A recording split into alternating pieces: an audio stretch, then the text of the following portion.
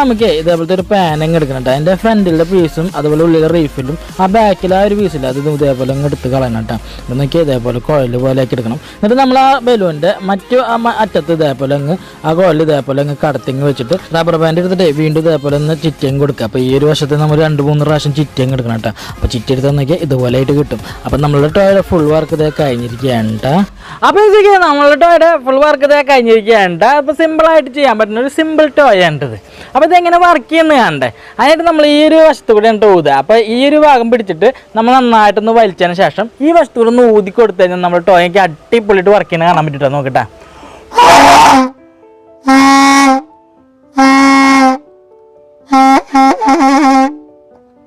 അപ്പം നോക്കിയാൽ നമ്മളിത് വലിക്കുമ്പോൾ നോക്കി ഈ വിരൽ കൊണ്ട് നോക്കിയാൽ ഈ വശം കൊണ്ട് നമ്മളിങ്ങനെ ആക്കുമ്പോൾ അതിന്റെ ആ ഒരു ഹോണിന്റെ സൗണ്ട് മാറ്റം വരുന്നതായിട്ട് കാണാൻ പറ്റിട്ടോ നോക്കട്ടെ.